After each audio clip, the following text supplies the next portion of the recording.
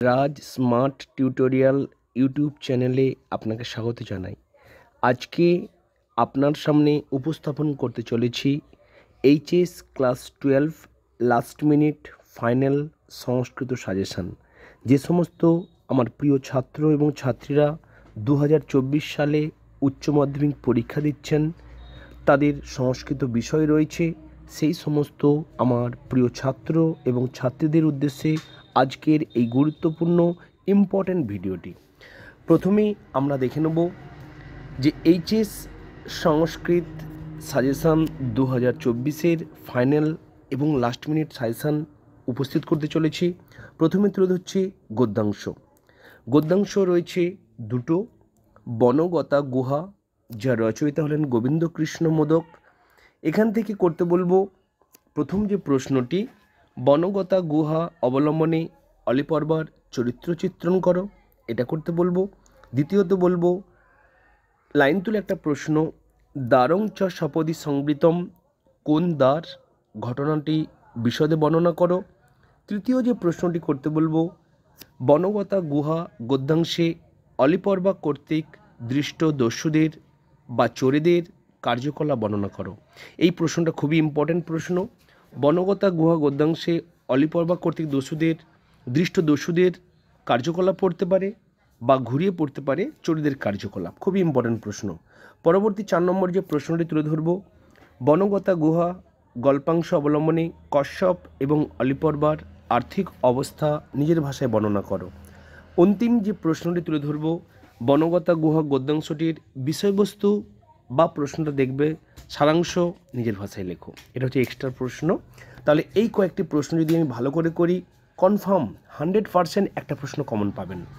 আর দ্বিতীয় যে গদ্যাংশটি রয়েছে, আর্যাবর্ত বর্ণনম যার রচয়িতা হলেন ত্রিবিক্রম ভট্ট। সেই ত্রিবিক্রম ভট্ট থেকে মাত্র দুটো প্রশ্ন তুলে ধরেছি।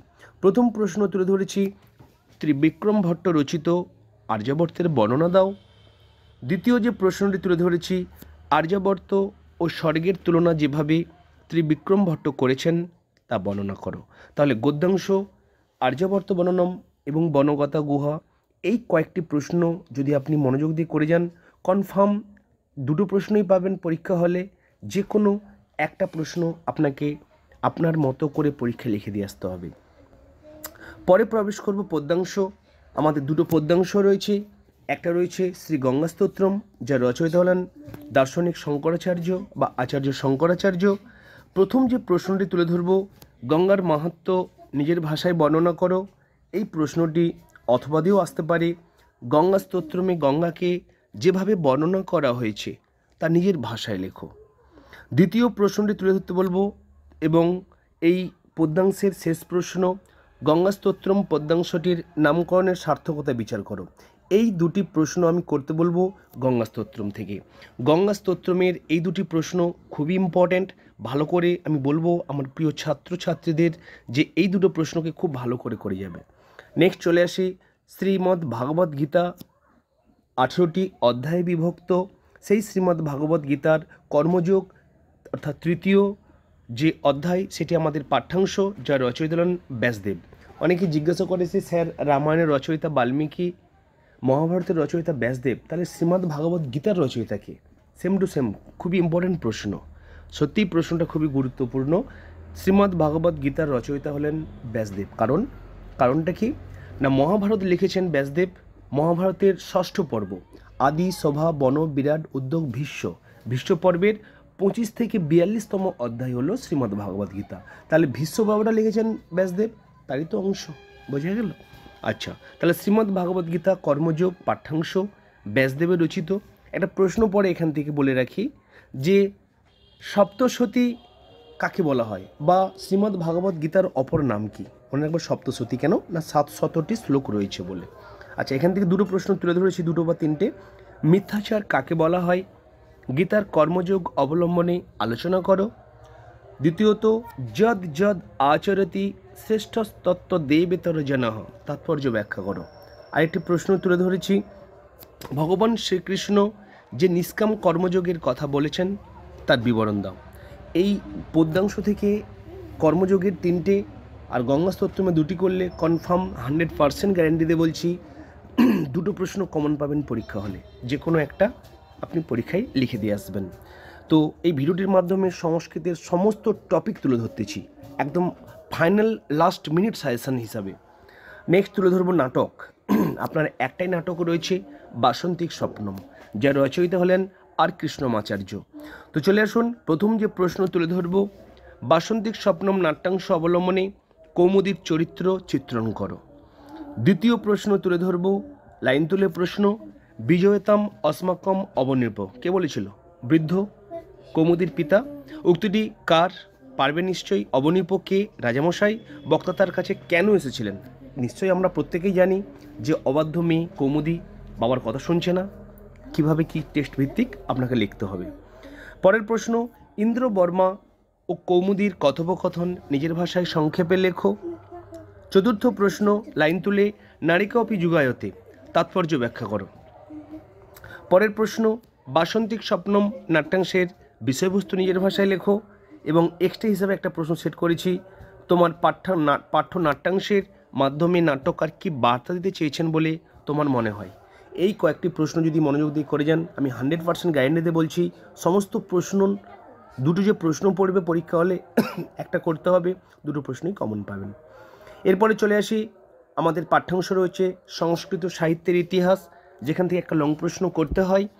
তো আমি দুটো দিক তুলে ধরবো, একটা বৈজ্ঞানিক একটা লৌকিক। আমি বলব স্টুডেন্টদের সহজার্থে বা সহজ হবে যদি লৌকিকগুলো করে যায়। কারণ বৈজ্ঞানিকটা একটু তুলনামূলক সহজ লৌকিক সংস্কৃতির থেকে একটু কঠিন। তো দুটোই আমি তুলে ধরতেছি সাজেশান হিসাবে, যেটা আপনার মনে হবে সেটা করে যাবেন। প্রথম প্রশ্ন তুলে ধরবো, লৌকিক সাহিত্যের ইতিহাস থেকে মহাকবি কালিদাসের মেঘদূতটা খুব ভালো করে করে যাবেন, দুটো মেঘ আছে, পূর্ব মেঘ, উত্তর মেঘ। দ্বিতীয়ত, যেটা তুলে ধরবো, যে শূদ্রকের মৃচ্ছকটিকম সম্পর্কে লেখো। এই প্রশ্নটা সংক্ষিপ্ত প্রশ্ন আসে যে মৃচ্ছকটিকম কী জাতীয় রচনা? মনে রাখবেন, এটা কিন্তু নাটক নয়। এটা হলো প্রকরণ, দশ অঙ্কের প্রকরণ। দ্বিতীয়ত, মৃচ্ছকটিক শব্দের অর্থ কী? মাথায় রাখবেন, মাটির গাড়ি। মাটির গাড়ি। আচ্ছা চলে আসুন নেক্সট প্রশ্ন। জয়দেবের গীত গোবিন্দম সম্পর্কে সংক্ষেপে লেখো। অর্থাৎ, জয়দেবের যে গীত গোবিন্দম গীতিকাব্য, এই ইম্পর্টেন্ট প্রশ্ন ছিল এটি। এরপরে চলে যাব, পরবর্তী যে প্রশ্ন রয়েছে বিশাখ দত্তের মুদ্রা রাক্ষস সম্পর্কে লেখো। এই প্রশ্নটা সংক্ষিপ্ত প্রশ্ন ঘুরিয়ে আসে যে বিশাখ দত্ত যে মুদ্রা রাক্ষস রচনা করেছেন বা নাটকটি লিখেছেন কয় অঙ্কের? মূলত এটি সাত অঙ্কের। এটা কী জাতীয় রচনা? দুটো পয়েন্ট, দুটো উত্তর। একটা হচ্ছে স্ত্রী চরিত্র বর্জিত নাটক এটি, কোনটি? মুদ্রা রাক্ষস। আর কি? এটা রাজনৈতিক নাটক। স্ত্রী চরিত্র বর্জিত এবং রাজনৈতিক নাটক। কোনটা? মুদ্রা রাক্ষস। কার লেখা? বিশাখ দত্তের। কত অঙ্কের? সাত অঙ্কের। আচ্ছা নেক্সট প্রশ্ন, নাট্যকার ভাষের স্বপ্ন বাসব দত্তম সম্পর্কে সংক্ষেপে লেখো।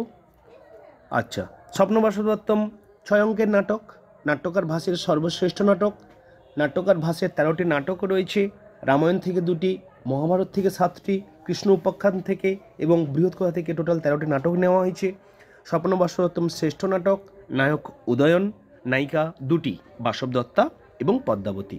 মন্ত্রীর নাম যৌগন্ধরায়ণ এভাবে রয়েছে, এগুলো পরীক্ষায় আসে।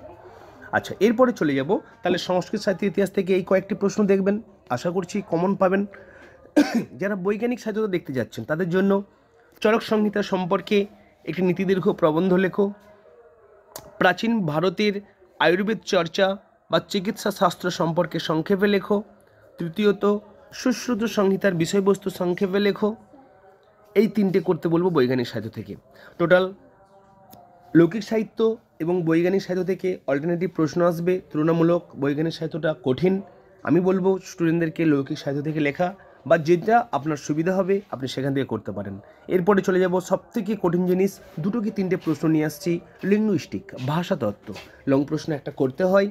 প্রথম যে প্রশ্নটি তুলে ধরবো, ভারতীয় ভাষাগোষ্ঠীর দশটি শাখার নাম ও পরিচয় দাও। খুবই ইম্পর্ট্যান্ট প্রশ্ন।